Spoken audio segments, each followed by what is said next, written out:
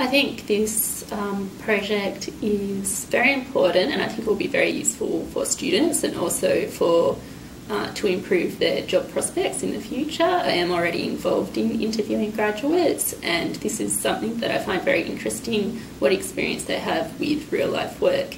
So, if I meet a student or a graduate who has experience in tendering, I do find that very valuable because they'll be able to come onto the job and start work and immediately be able to assist me with my work and hopefully hit the ground running.